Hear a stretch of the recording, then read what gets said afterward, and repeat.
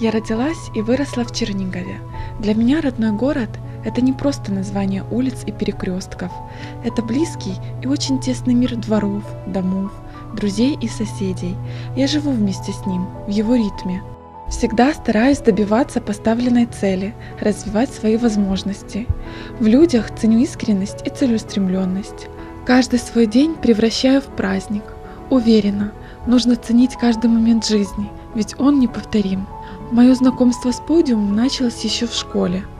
В 2008 году долгожданная победа, титул королева Чернигова. Мечтаю о кругосветном путешествии и о короне мисс мира. С удовольствием занимаюсь флористикой и фитодизайном. Это прекрасная часть моей жизни. Я живу в этом городе, радуюсь и грущу вместе с ним. Чернигов – это мой город.